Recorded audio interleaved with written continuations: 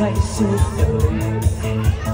Anh đang một quan đẹp trai dễ thương và có tìm rất trung tình. Gặp nhau đêm nay mà dường như bao lâu, tình yêu đôi ta đã trao. Mình yêu nhau đi, đừng ai chi